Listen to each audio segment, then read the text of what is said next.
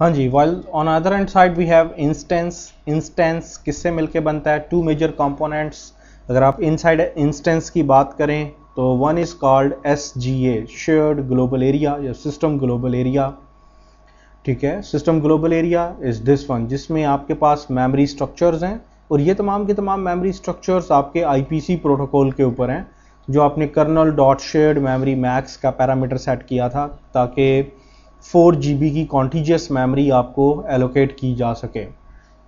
And a lot of background processes ये आपके पास सारे के सारे बैकग्राउंड प्रोसेसेस हैं। सो so, दो चीज़ों से मिलके कह लें कि आपका इंस्टेंस बनता है।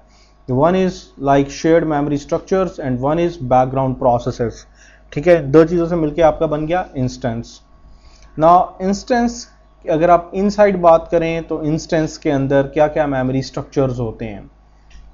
The first one is known to be as database buffer cache पहले देख लें मैंडेटरी स्ट्रक्चर्स कौन से हैं? डेटाबेस बफर कैशे है number two redo log buffer है नंबर थ्री शेयर्ड पूल है, ये सारा शेयर्ड पूल है।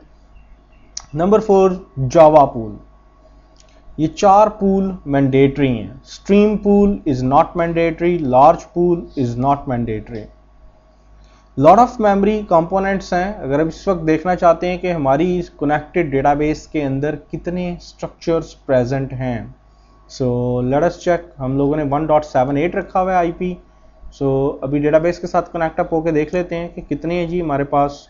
इसमें देखिए यार होगा Oracle Oracle product 10.2 client admin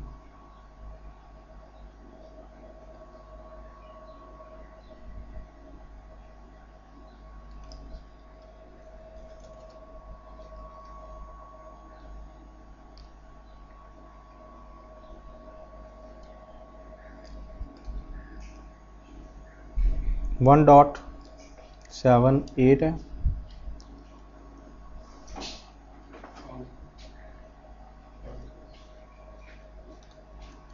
port is fifteen twenty one fifteen twenty one पे वन डॉट सेवन एट है and this one is like और नेट श्योर ठीक है. You got logged in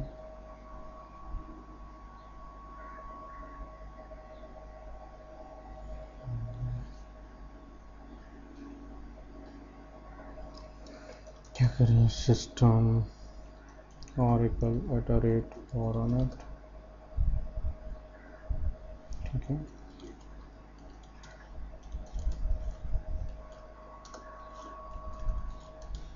select asterisk from v dollar sign sga stats sga statistics is a view name ठीक है ये view आपको दिखाएगा कि टोटल मेमोरी स्ट्रक्चर्स कितने आपके एट अ मोमेंट लोडेड हैं as a whole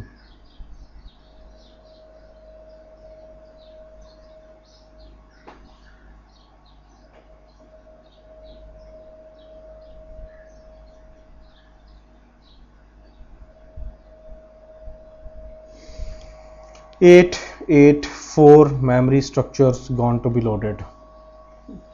As a whole देख लीजिए। Fix S G A database buffer cache है, कितने बाइट्स की है रीडियो लॉग बफर कितने बाइट्स की है, और अब ये जो बाकी मेमोरी स्ट्रक्चर्स हैं, इनका containing pool is shared pool इनका एक ही पूल है शेयर्ड पूल और ये हिडन मेमोरी स्ट्रक्चर्स हैं। आप इनकी डायरेक्ट एडमिनिस्ट्रेशन नहीं कर सकते। यहाँ से लेके यहाँ तक ये सारे शेयर्ड पूल के ही आते जा रहे हैं, यहाँ तक। उसके बाद दिस वन ये दो लार्ज पूल के हैं। और ये एक आपके पास जावा पूल का स्ट्रक्चर लोडेड है। हमारे पास स्ट्रीम पूल नहीं है ये देख लें। यहाँ पे बाकी सारे के सारे शेयर्ड पूल के अंदर लोडेड थे। तो टोटल 884 इस 884 में से क्योंकि दो ये स्ट्रक्चर तो लार्ज पूल के हैं ये एक जावा पूल का है आ, कह लें कि तीन और तीन चार पाँच छ छः निकाल दें। 884 में से सिक्स निकाल दें तो एट सेवन एट। 878 के करीब memory structure they are a part of shared pool ये शेयर्ड पूल का पार्ट है ठीक है? और बाकी आपको वो दिखा रहा है कि आपके पास क्या क्या स्पेक्स हैं। सो so, इस वक्त 884 मेमोरी स्ट्रक्चर्स टोटल लोडेड हैं। और उसमें से हैवीली जो कंटेंट्स थे वो ये शेयर्ड पूल के थे। इस शेयर्ड पूल के इंटरनल मेमोरी स्ट्रक्चर दिखा रहा था आपको कि क्या क्या लोडेड है। स्ट्रीम पूल हमारे पास यहाँ पे लोडेड नहीं था लार्ज पूल लोडेड था जावा पूल लोडेड था रीडोलॉग बफर लोडेड थी डेटाबेस बफर कैशे और fixed S G A components चंद एक थे जो भी यहाँ पे आपके सिलेबस में आपको नहीं दिखाएगा। सो एट अ मोमेंट ये देखिए कि database buffer cache is mandatory redo log buffer shared pool Java pool हमारे पास लार्ज पूल भी इधर लोडेड है but it's optional stream pool हमारे पास लोडेड नहीं है। वन वन लाइन की डेफिनेशन जब भी आप कभी कोई क्यूरी किसी भी क्यूरी का डीआरएल फ़ेज़ या कुछ भी आप देखना चाहते हैं सो so जब तक डेटा डेटाबेस बफर कैशे में लोड नहीं होगा तो आप इवन रीड ऑनली किसी चीज़ को नहीं देख सकते। रीड राइट करना तो दूर की बात। अनटिल अनलेस कि आपकी डेटा फ़ाइल से उठ के डेटा डेटाबेस बफर कैशे में लोड ना हो जाए, आप किसी भी क्यूरी का रिज़ल्ट नहीं देख सकते। कोई भी क्यूरी प्रोसेस नहीं हो सकती, चाहे वो सीक्वल की हो पीएलएसक्यूएल की हो, किसी भी चीज़ की हो। ठीक है? सो डेटाबेस बफर कैशे में रिकॉर्ड कैशे किए जाते हैं। Redo log buffer slim and smart area होता है। Database buffer cache no doubt terabytes तक का भी एरिया हो सकता है। रीडू लॉग बफर बहुत स्लिम एंड स्मार्ट एरिया होता है। इसका काम क्या होता है कि ट्रांजैक्शनल रिकवरी पॉइंटर्स जो ट्रांजैक्शन जब भी इनिशिएट होती है तो उसके recovery pointers redo log buffer में लिखे जाते हैं। बहुत छोटा सा एरिया होता है, आठ या सोलह मेगाबाइट का not more than that shared pool it's a huge area lot of memory components जो कि आपके कंप्लीट मेटा डेटा को कंट्रोल करते हैं। किसी भी क्यूरी का पार्स फ़ेज़ एग्जीक्यूट करते हैं। इसमें इंपॉर्टेंट दो caches library cache data dictionary cache and lot of other caches होती हैं। कोई भी स्टेटमेंट उसकी पासिंग चाहे वो एग्ज़ाम हो, चाहे वो सीक्वल है पी है जावा है उसको from like four G L या three G L to one G L conversion is a responsibility of shared pool so ये थ्री वाइटल इंपॉर्टेंट आपके पास पूल्स हैं while other one large pool large pool बनाएँगे तो benefit ये मिलेगा कि शेयर्ड पूल पर से एक्स्ट्रा बर्डन रिवील हो जाएगा। Like request queue response queues IO channels वगैरह की बफर्स वो सारी की सारी लार्ज पूल में लोड हो जाएँगी। लार्ज पूल नहीं होगा तो ये सारे मेमोरी स्ट्रक्चर दोबारा शेयर्ड पूल इस अदर्स की कैटेगरी में लोड हो जाएँगे। ठीक है? देन स्ट्रीम पूल इससे पहले जावा पूल देख लें। Java pool is mandatory area जितनी भी inter process communication inter memory communication network communication हो रही होती है it's pure Java based so Oracle के अंदर Java pool is a mandatory area इसके अंदर एंटरप्राइज जावा इंजन आपकी जार फ़ाइल कैशर्स ये सारी की सारी चीज़ें लोडेड होती हैं। देन स्ट्रीम पूल अगर स्ट्रीमिंग एक्टिवेटेड है तो stream pool is a mandatory area else it's an optional area ये ऑप्शनल है मैंडेटरी नहीं है. लेकिन अगर स्ट्रीमिंग एक्टिवेटेड है तो then it's mandatory area streams ने जो डेटा पुल करना होता है, जो डेटा पुश करना होता है पॉप करना होता है, उसके लिए वो सारे के सारा जो कैशिंग एरिया है it's present inside stream pool जब भी एक डेटाबेस में कोई भी कह लें कि आपकी ट्रांजैक्शन होगी, अगर आप रिमोट साइट पे अप्लाई करना चाहते हैं वाया स्ट्रीम एप्लीकेशन तो वो आपके स्ट्रीम एरिया के अंदर पुश या पॉप होगी। So stream pool at that time it it is a mandatory area अगर स्ट्रीमिंग एक्टिवेटेड है तो। Else it's an optional area ठीक है? इसकी कोई ज़रूरत नहीं होती। जब स्ट्रीम हाँ स्ट्रीम वो एक अलादा इशू है आते हैं अभी जब पूल की डिटेल में आते हैं ना अभी तो मैं सिंगल सिंगल लाइन की सिर्फ़ डेफिनेशंस बता रहा हूँ कि जी कितने पूल्स हैं और हर पूल का क्या एक एक सिंगल सिंगल लाइन की definition while on other end side अगर आप देखिए कि हमारे पास जो बैकग्राउंड प्रोसेसेस हैं background processes lot of background processes हैं हमारे पास कौन कौन से हैं? DB writer log writer S mon P mon reco check point archiver ठीक है, ये सारे के सारे हमारे पास प्रोसेसेस हैं। इसमें से mandatory process DB writer log writer check point reco P mon S mon छः हमारे मैंडेटरी हैं। Archiver is not mandatory and others are not mandatory वो मैंडेटरी बैकग्राउंड प्रोसेसेस नहीं है। अगर आप ये देखना चाहते हैं कि इस वक्त हमारे पास कितने लोडेड हैं, अगर मेटा डेटा से स्कैन करना चाहते हैं so you can write down select asterisk from V dollar sign B G process background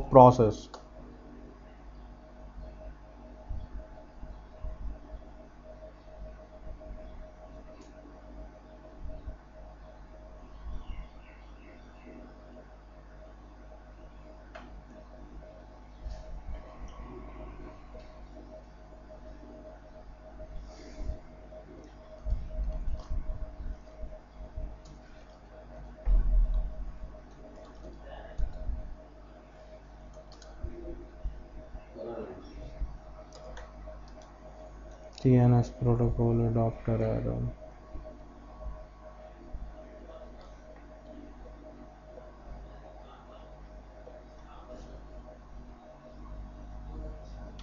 cable loose है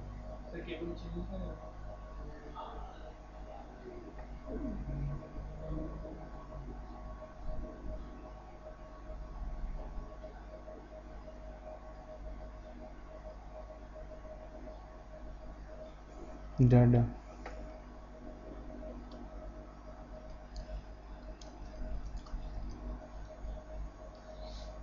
चलेंगे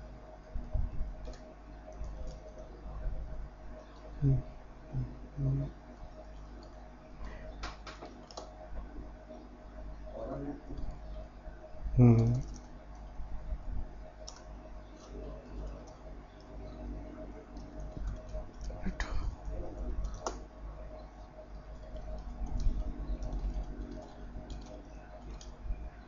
बीजी process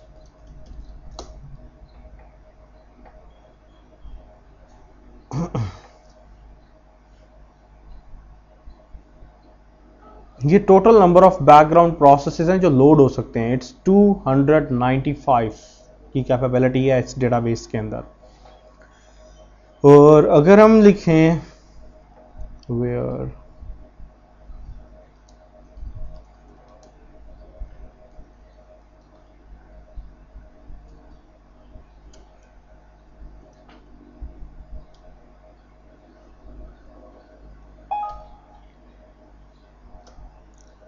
where P serial number like जिनका जो प्रोसेसेस लाइव होते हैं, उनका पी सीरियल नंबर ज़ीरो नहीं होता। तो 19 19 gone to be loaded like P mon loaded है वी के टी एम जिसे आप virtual keeper for time process कहते हैं generic zero diagnostability process database resource manager V K R M ठीक है।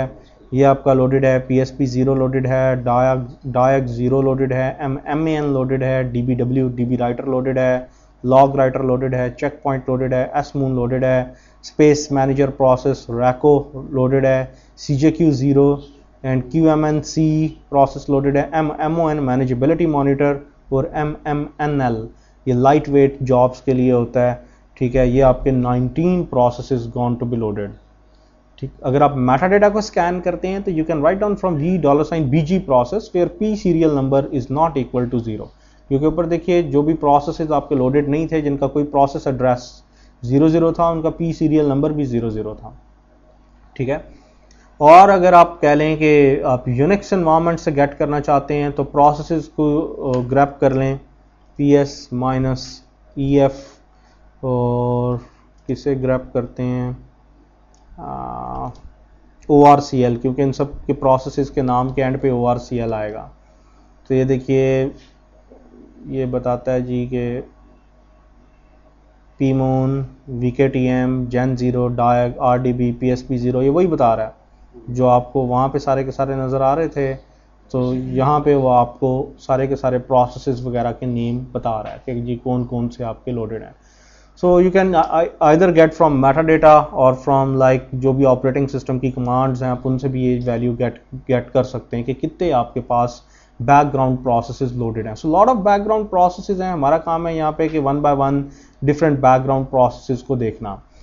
देखिए, हमारे पास सबसे पहले डीबी राइटर लॉग राइटर इनको मैं वन बाय वन एक इनकी एक्सप्लेनेशन आपको दे देता हूँ। ये देखिए this one diagram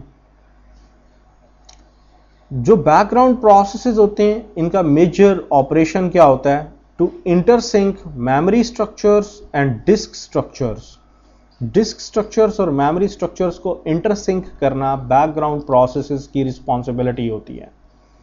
like dB writer इसका काम होता है डर्टी बफर्स यहाँ से राइट डाउन करना वापस डेटा फ़ाइल में। डीबी राइटर का काम सिर्फ़ राइट डाउन करना होता है रीडिंग करना नहीं होता। डीबी राइटर कभी भी डेटा फ़ाइल से डेटा रीड नहीं करता, सिर्फ़ राइट करता रीड करना है तो वो सर्वर प्रोसेस होगा जो यहाँ से रीड करके लोड करेगा। ये आपको क्लियर डिस्टिंक्शन पता होनी चाहिए, ठीक है? डीबी राइटर सिर्फ़ डर्टी बफर डर्टी बफर उसको कहते हैं जिसके अगेंस्ट ट्रांजैक्शन कमिट हो जाए। तो मेमोरी में नए रिकॉर्ड पड़े होते हैं, जबकि डिस्क पे पुराने रिकॉर्ड पड़े होते हैं। तो ये क्या करता है? जो नए रिकॉर्ड हैं, उनको पुराने रिकॉर्ड के ऊपर ओवर कर देता है। हाँ जैसे आप इंसर्ट अपडेट डिलीट करके कमिट कर दें, या फिर डीडीएल चला दें, ठीक है?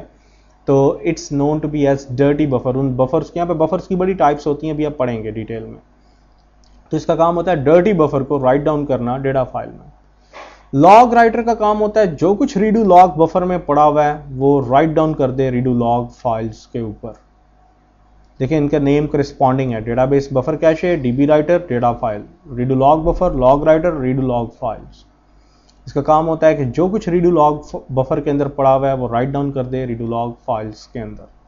आर्काइवर आर्काइवर का काम क्या होता है? कल आपने पढ़ा था कि लॉग राइटर सिक्वेंशियल ऑर्डर में इसे लिखता है सर्कुलर ऑर्डर में।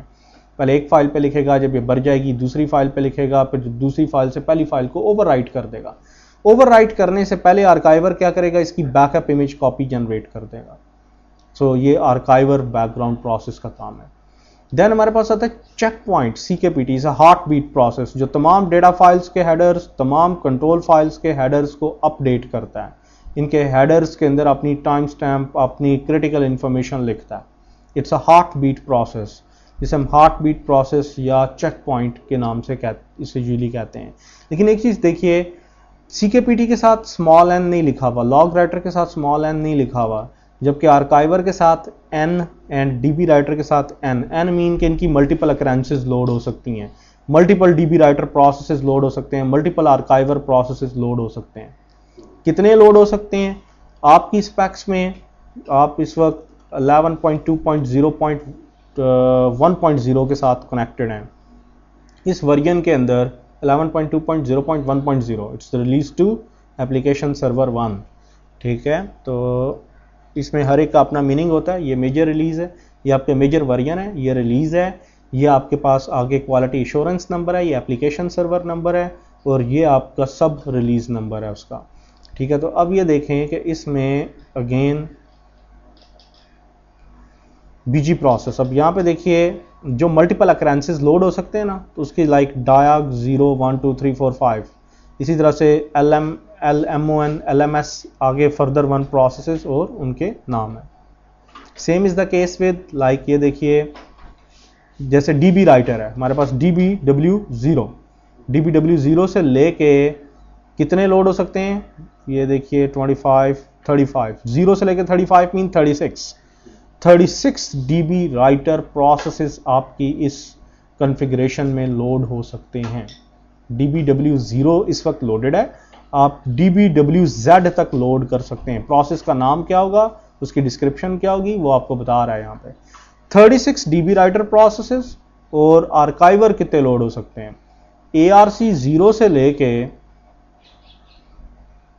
ए आर सी टी तक A R C T it's A R C twenty mean के थर्टी प्रोसेस है। ज़ीरो से लेकर twenty nine mean thirty thirty archiver और थर्टी सिक्स डीबी राइटर ये रिलीज़ टू के अकॉर्डिंगली आपको याद रखना है। सर्टिफिकेशन में क्वेश्चन आ जाता है कि कितने मैक्स आर्काइवल प्रोसेसेस और कितने मैक्स डीबी राइटर प्रोसेसेस 36 ये और 30 आर्काइवर टेन जी में कम थे रिलीज़ वन में भी आ, कम थे थर्टी थर्टी थे। इसमें D B writer thirty six कर दिए गए हैं आर्काइवर थर्टी कर दिए गए हैं जो साइमल्टेनियसली आप लोड कर सकते हैं। आप खुद लोड इसका पैरामीटर होता है पी फ़ाइल में वो आपको डालना पड़ता है। बाय डिफ़ॉल्ट एक एक लोड होगा। By default only one single occurrence then हमारे पास आता है एस मून पी मून ये जितने भी मून प्रोसेसेस होते हैं मॉनिटर प्रोसेसेस ये बड़े होते हैं L mon P mon D mon S mon ठीक है? सो इनका काम यूजली होता है मॉनिटरिंग का। जैसे पी मून अगर कोई ट्रांजैक्शन हैंग हो जाए, कोई रिसोर्सेज कॉन्फिस्केट हो जाएँ, ठीक है? उन रिसोर्सेज को रिकवर करना, उन रिसोर्सेज को रिलीज़ करवाना ट्रांजैक्शन को किल करना, ये पी मून की रिस्पॉन्सिबिलिटी कोई प्रोसेस हैंग हो जाए, उसको किल करके नई अक्रेंस लोड करना जबकि एस मून जिसका काम होता है पूरे के पूरे डेटाबेस के तमाम मेमोरी स्ट्रक्चर तमाम डिस्क स्ट्रक्चर्स को इन सिंक रखना। नंबर टू जब डेटाबेस शट डाउन होता है, जब डेटाबेस स्टार्टअप होता है तो इसके बिहाफ पे होता है। एस मून जब तक शट डाउन का सिग्नल नहीं देगा, कभी भी शट डाउन का प्रोसेस इनिशिएट नहीं होगा।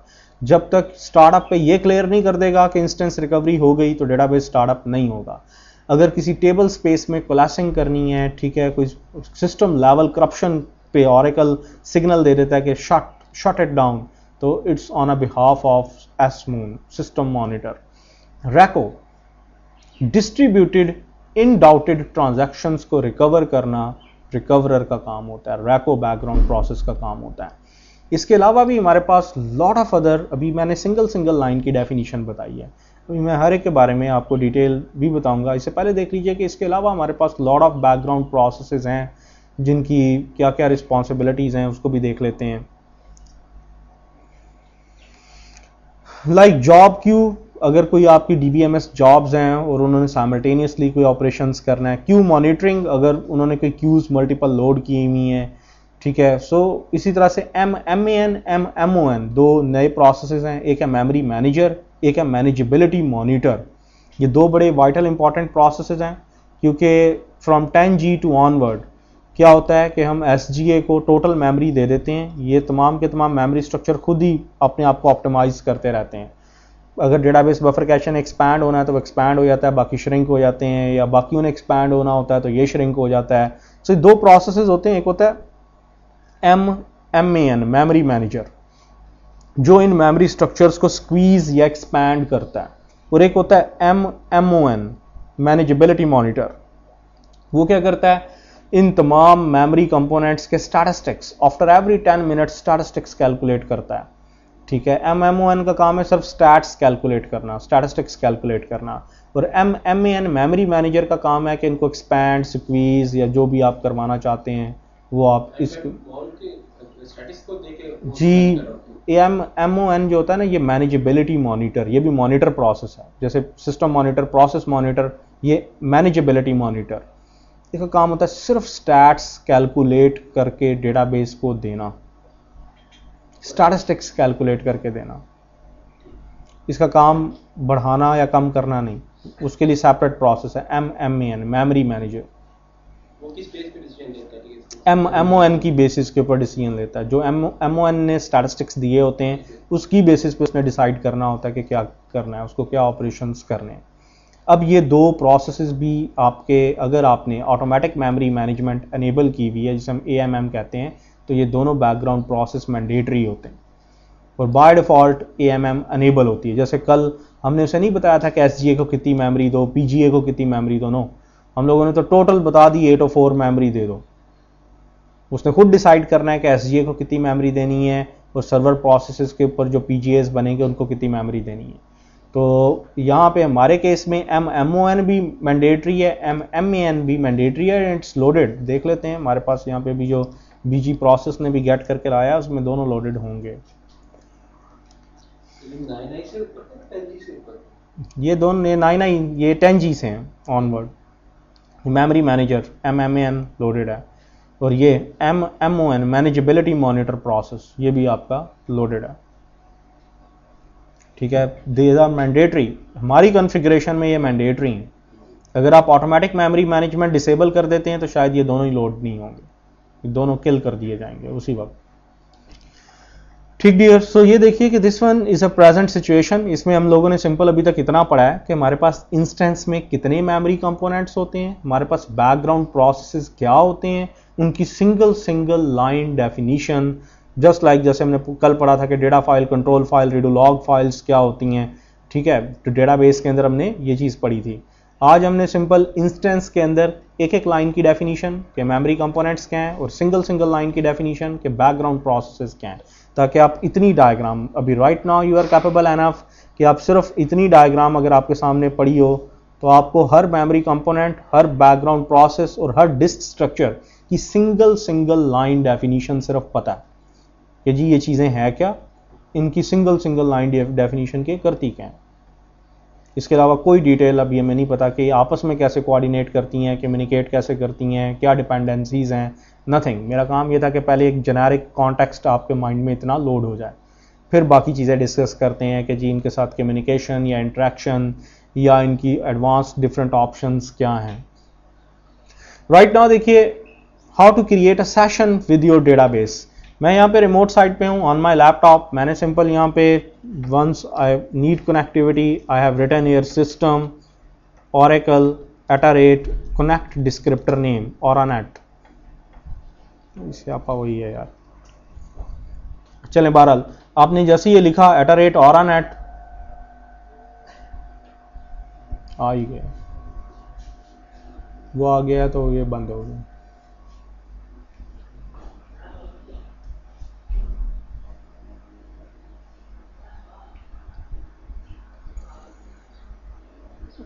बुलाएँ जी, मैं in the mean time video flush कर लेता हूँ, 25 मिनट्स की हो गई है।